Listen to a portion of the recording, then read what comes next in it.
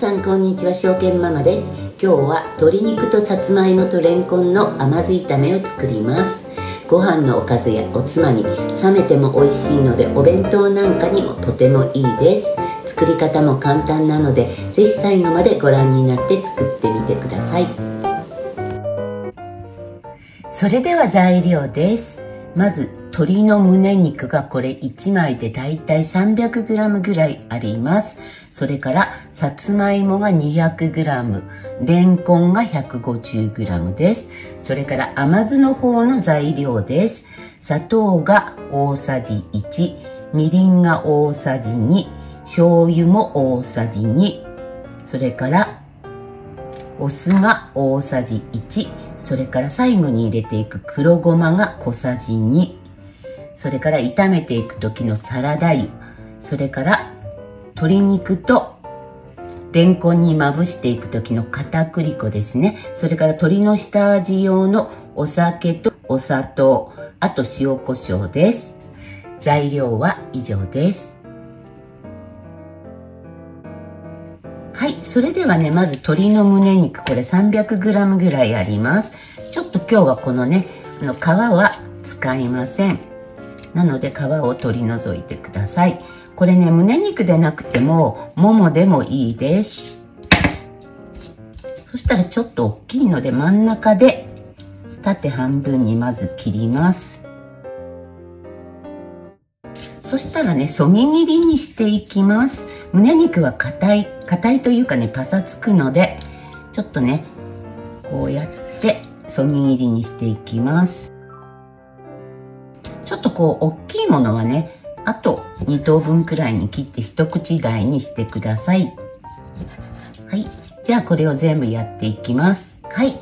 鶏肉はね、このようにそぎ切りにの一口大にしました。そしたらこれ全部ね、ビニール袋に入れてしまいます。はい。そしたらこれに下味をつけておきます。まず、お酒が小さじ1入ります。それからお砂糖も小さじ1入ります。はい、このぐらいでしょうか。はい。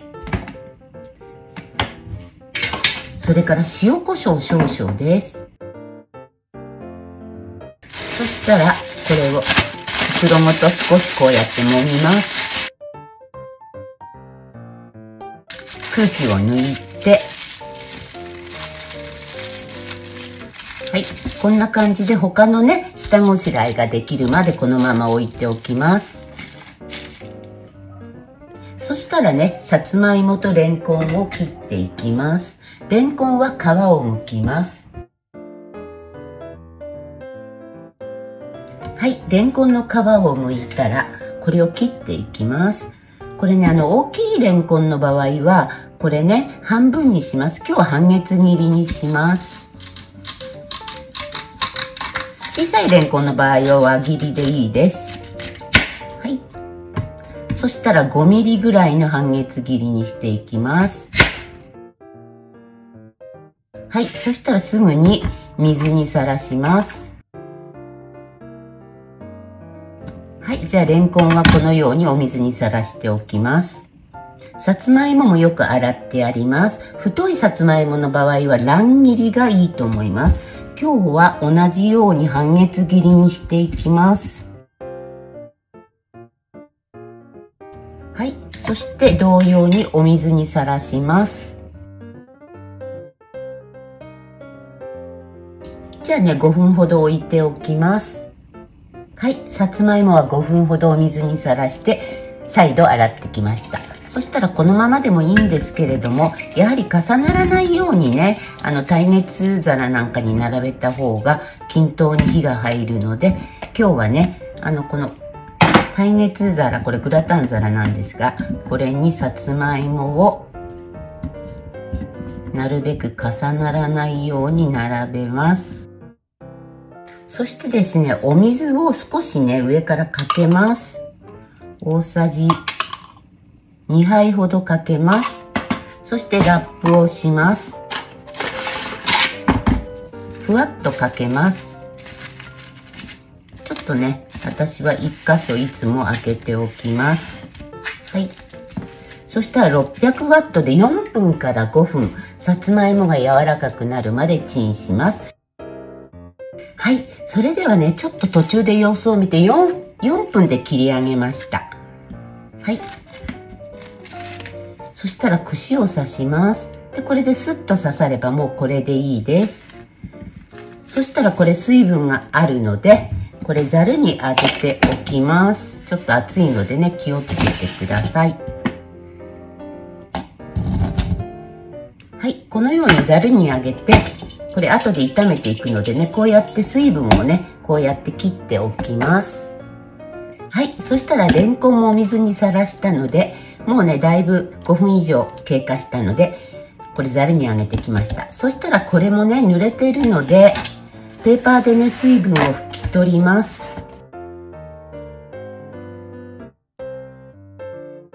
レンコンの水分を拭き取ったら、直接もうまたビニール袋に入れてしまいます。これね、あの、片栗粉をまぶして、レンコンは、あの、一緒に鶏肉と一緒に焼いていきます。なので、ビニール袋に入れてしまいます。そしたら先に先ほどの調味料を合わせておきます。でちょっとこう混ぜておきます。はい。そしたらこの鶏肉とレンコンを先にねこれフライパンで焼いていきます。先ほどの鶏肉にこれビニール袋のままでいいので片栗粉を入れていきます。だいたい片栗粉そうですね。大さじ1杯から2杯ですね。そしたら袋ごと振ります。はいこんな感じでね片栗粉が鶏肉にねこのつけばいいです。そしたら、こちらのレンコンの方にも片栗粉を入れていきます。こちらは大さじ1ぐらいでいいでしょうか。そして折らないようにフリフリします。レンコンにも片栗粉がつきました。そしたらこれを焼いていきます。それではフライパンに火をつけます。大きめのフライパンの方がいいと思います。そしたらサラダ油を少し多めです。大さじ2杯ほど入れます。はい。そしたら鶏肉を入れていきます。ちょっと火を弱めますね。ちょっと量があるので最初と最後の方でねちょっと火の通り具合が違ってくるのでちょっと火を弱めて鶏肉を並べていきます。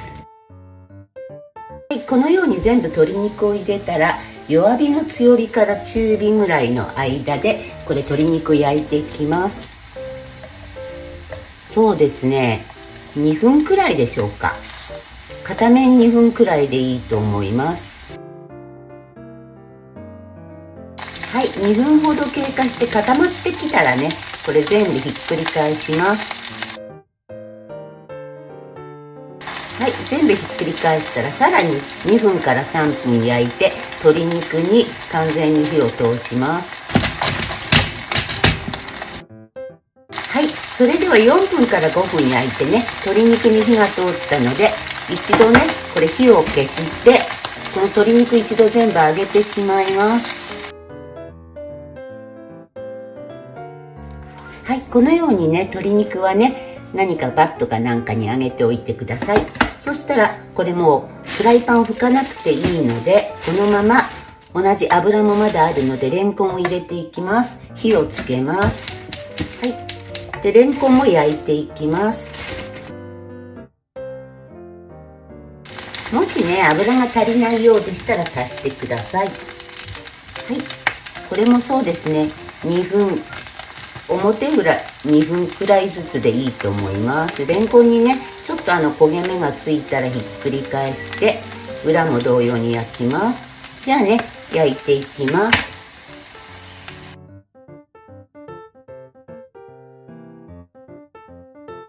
はいこんな感じでね合計4分ほどね焼きました。そしたらもうこれ火が通ったので一旦火を止めます。はい。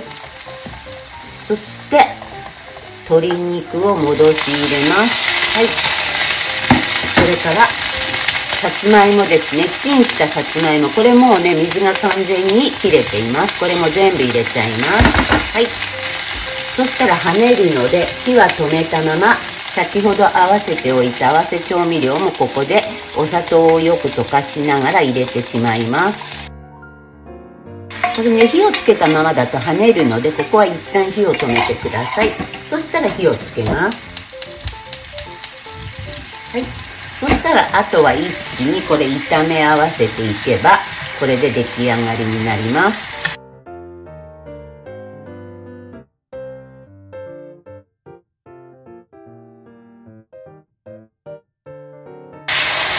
はい水分がねこれだけ。飛んだのでそしたらここで火を止めます。そして黒ごま小さじ2を振り入れます。これね後からかけてもいいんですけれどもね。ちょっと今日は最後に黒ごまを入れます。これ白ごまでもいいです。そして軽く混ぜます。はいこれでもう出来上がりになります。はいそれでは出来上がったので盛り付けます。ても美味しそうですはいこれで鶏肉とさつまいもとレンコンの甘酢炒めの出来上がりです。とっても美味しそうにできました。はい。それではね、出来上がったのでいただいてみたいと思います。はい。じゃあね、さつまいもとレンコンと鶏肉もいただいてみたいと思います。まずじゃあね、さつまいもからいただきます。いただきます。うん。さつまいももホクホクで、この甘酢がね、とってもこれ絡んで美味しいです。やはりね、鶏肉とレンコンに片栗粉をまぶしているので、タレもとても絡んで美味しいです。じゃあ、レンコンもいただいてみます。レンコンの歯ごたえもまだ残っていて、とってもシャキシャキで美味しいです。鶏胸肉もいただきます。うん。胸肉ですが、やはりそれにそぎ切りにして、砂糖とね、お酒をまぶして少し置いておくことによって、胸肉も柔らかくなります。ぜひね、これ本当にあの、今さつまいもが美味しい時期なので、レンコンもね、今旬なので、ぜひね、この鶏肉と合わせて甘酢炒め作ってみてください。とっても美味しいです。それからこれはね、結構あの、これ冷めても美味しいので、3日ほどね、冷蔵庫で作り置きができます。なのでね、お弁当なんかにもとっても美味しいと思います。ぜひね、簡単なので作ってみてください。とっても美味しくできました。ごちそうさまでした。皆さん、ご視聴ありがとうございました。さつまいものレシピは他にもたくさんあるので概要欄に貼っておくのでよろしければご覧になってみてください。それでは皆様お元気でまた次の動画でお会いしましょう証券ママでした